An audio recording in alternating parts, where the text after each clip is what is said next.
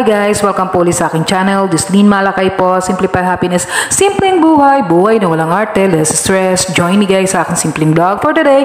Isang magandang buhay po sa ating lahat.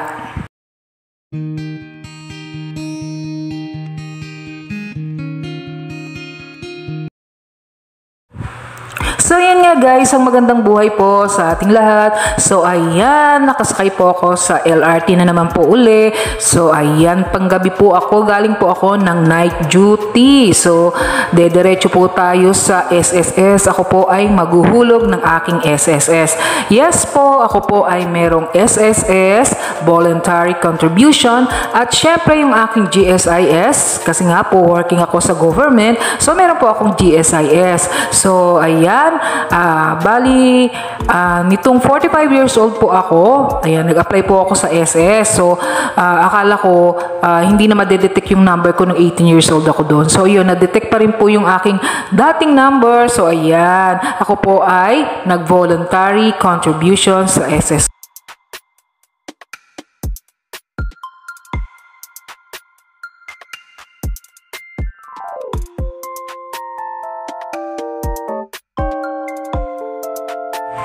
So ayan guys, nandito na po ako sa may SSS Valenzuela. So ayan, uh, bali ng 45 years old ako guys. Uh, ewan ko ba, nakapag-isip talaga ako na hindi na talaga ako pabata. Ayan, hindi na kami pabata ng aking husband. Sabi ko, papunta na tayo sa pagtanda. So ayan, si husband na ikuha ko ng self-employed and then ako voluntary. So may, yung, dati ko pong SSS number ng 18 years old ako. So yun pa rin po yung ginamit. So kinumpleto ko lang po yung requirements. Nagpunta po talaga ako personal dito sa SSS. So ayan, wag po kayong uh, mahiyang magtanong dito or uh, uh, kumbaga uh, mag uh, kumbaga kung gusto niyo magkaroon kayo ng SSS, uh, uh, kung gusto niyo magkontro magkaroon ng contribution hulog sa SSS, magtanong po kayo. So ayan, uh, meron naman ditong information madaling magtanong. So sa info lang po ako nagtanong noon, hindi po muna ako pumila agad. So nung nakumpleto ko yung requirement, requirements, saka po ako pumila. So ayan, nakakuha na po tayo ng number payment po iyan. So pagka may mga gusto kayong itanong kasi pipila po. So pag payment naman, pipila po sa labas. So ayan, pagpa payment, diretso na po dito sa loob. So ayan, waiting po tayo na tawagin yung ating uh, number. So, alam nyo guys, ayan, may nakakwentuhan ako dito habang nag-aantay yon. Uh, meron ako ditong dalawang, uh, ayan, senior na uh, nakakwentuhan. So, sila, sila rin po ay voluntary. Kinuha niya rin yung kanyang misis ng voluntary uh, contribution sa SSS. So, siya, yan, uh, waiting pa po ng 2 years bago, uh, bago niya, bago siya mag-pension kasi naglamsam siya, guys. So, ayun, um, Basta, uh, basta nag great help daw sa kanila talaga mag-asawa yung SSS. So yung, ha, yung sa misis niya, hinuhulugan niya pa rin po kasalukuyan yung SSS. So ito na nga guys, ayan. Uh, hindi ko na naituloy yung aking vlog kanina. So ayan, night duty po tayo, papasok po tayo. So ayan, ang sinasabi ko nga po, night duty po tayo. So ayan, nakasakay po ako dito sa bus. So alam nyo nga, yun ang sinasabi ko, hindi po tayo, kumbaga, hindi na nga po pabata, papunta na nga po tayo sa pagtanda So dapat ayun nag-iisip tayo ng mga yung mag, magiging ano natin sa ating pagtanda. So yung isa ngayon na uh, magagamit natin sa pagtanda. Although hindi magiging sapat, pero makakatugon naman kahit paano sa pangangailangan natin pag may pension tayo uh, sa ating SSS, sa ating pagtanda, guys. So, ayan nga guys, kagaya ngayon, panggabi ako. So, syempre ngayon, kaya pa nung ating katawang lupa na tayo ay makapagtrabaho. So, yun nga yung sinasabi ko sa aking husband. Kasi sabi niya nga nung una, parang ayaw niya kumuha ng SSS. Kasi nga, ang katwiran niya, napakatagal naman daw bago mapakinabangan o magamit. Eh, sabi ko, ngayon, eh tayo eh malakas pa nakakapagtrabaho. So pagdating ng time nakako na hindi na natin kaya parehas tayo magtrabaho, wala tayong aasahan. Ako, meron pala akong aasahan kasi meron ako GSIS. Si husband, wala siyang uh, SSS noon. Uh, kumbaga, uh, 45 years old din siya nung uh, kinuha ko guys, nung uh, SSS. So sabi ko, ikaw, uh, 45 o 46 years old, so hindi ko na matandaan eh. After kasi nung maasikaso ko yung kanya, yun naman sa akin ang inasikaso ko. So yun nga yung sinasabi ko sa kanya sa ngayon, hindi, uh, ngayon nakakapagtrabaho, nakakapagtrabaho pa tayo, malakas pa yung ating katawan. Pero one time, darating talaga, hindi nakakayanin ng ating katawang uh, physical yung ating pagtatrabaho. So dapat meron ka, meron ka talagang magagamit no. Kagaya nga nung nakakwentuhan ko do sa SSS guys na dalawang matanda, ayun, uh, yung uh, siya uh, waiting na lang ng 2 years at makaka-pension na siya. So parang magiging 3-5 yata yung ano niya uh, monthly na kanyang uh, matatanggap. So ayan guys, nagbaon pala ako uh, kahit yan uh, panggabi tayo nagbabaon tayo ng kanin para tipid tayo guys. So ito nga pala guys, na sinasakyan kong bus, ayan natutuwa naman ako guys kasi uh, ito ay diretso na doon sa aking pinapasukan. So, ayan. Kaya, ayan, nakakapagkwentuhan tayo. So, kaninang umaga, yun nga, dumiretso ako naghulog ng SSS. So, ayan.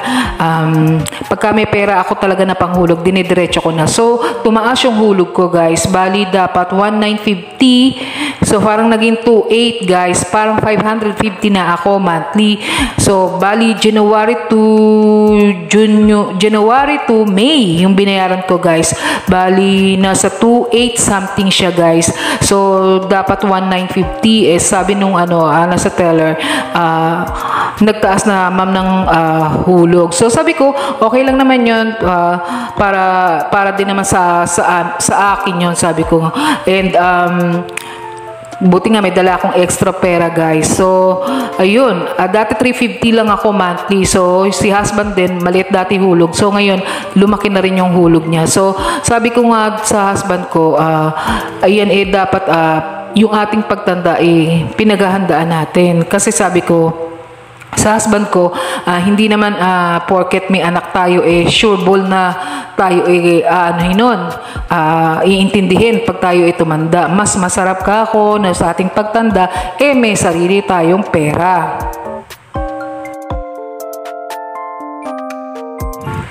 Si husband guys, nagamit niya na yung kanyang SSS, bali nung nakakuha siya ng sickness, and then nakapag-loan din siya nung uh, during the pandemic, and then nakapag-salary loan siya. So sabi ko nga sa anak ko, uh, tignan uh, talaga yung kanyang loan kasi nga baka mamaya, alam niyo na, magka-interest. So sabi ng anak ko, eh wala na raw siyang makita doon na may balance pa yung aking husband. Kasi nung during the pandemic din, pinagtyaga-tyagaan ko din nahulugan yung guys kasi nga uh, gusto, ayoko magka-aberya yung kanyang uh, SS. So ganun din yung nakakwentuhan ko uh, sa SS kanina, yung matan, matanda, yung senior na nakakwentuhan ko doon isa, sabi niya, uh, yung kanyang uh, lump sum, eh parang napasok lang doon sa loan niya. Kasi nga, may loan pala siya na hindi niya nakita, so tumubo pa rin yun. Pero nagkaroon pa rin daw ng amnesty, so parang konti, niya, konti na lang inakuha niya doon sa kanyang uh, lump sum. So, after 2 years pa siya magkaka-pension uh, ng monthly. So, 18 months kasi yung kinuha niya na ano,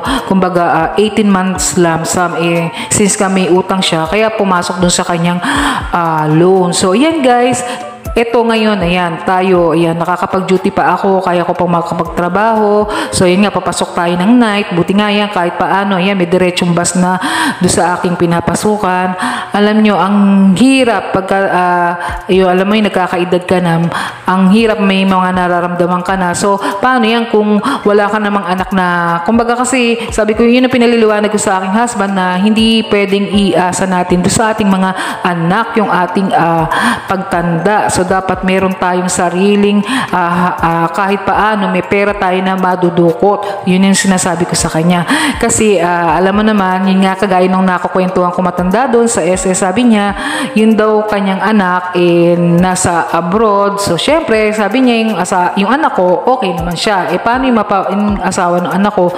Uh, kumbaga, uh, yung anak niya is uh, kahit paano nasusuportahan siya. Kaya lang, syempre, nahihiya rin din siya dun sa asawa nung uh, anak niya. So, ayun. Kaya yan, uh, isa sa mga talagang uh, kasama sa budget ko yung aking SSS.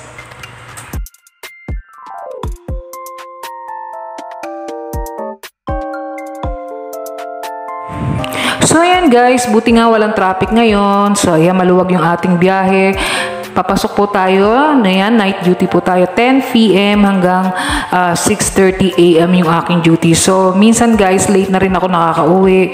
Kasi nga, ayan, sa umaga, medyo matraffic. At saka nga guys, uh, minsan nag-aabang kasi ako ng bus na diretso na pa, uh, pauwi sa amin. So, yun, kanina, uh, pag umaga, pag uwi ko, yan, dumiretso na ako ng SSS para yung ating pambayad ay hindi na natin magastos. So, ayan, uh, bali, 7 years na po ako nakakahulog sa aking, uh, yan, voluntary contribution sa aking SSS. So, ayan, um, pagka naka 10 years na tayo, yun, at least makokompleto natin yung ating ano, yung ating hulog. So yung iba yan, dinidiretso pa rin kahit na nakaabot na sila ng 10 years para yan malaki yung kanilang ma magiging monthly na uh, matatanggap sa uh, ah, SSS yung kanilang pension.